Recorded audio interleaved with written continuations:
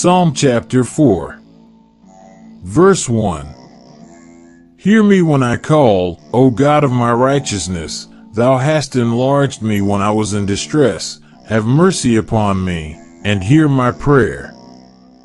Verse 2. O ye sons of men, how long will ye turn my glory into shame?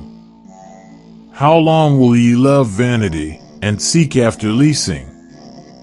Verse 3 But know that the Lord hath set apart him that is godly for himself. The Lord will hear when I call unto him. Verse 4 Stand in awe, and sin not. Commune with your own heart upon your bed, and be still. Verse 5 Offer the sacrifices of righteousness, and put your trust in the Lord.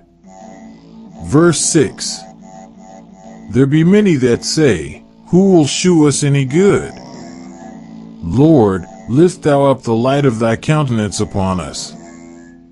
Verse 7 Thou hast put gladness in my heart, more than in the time that their corn and their wine increased.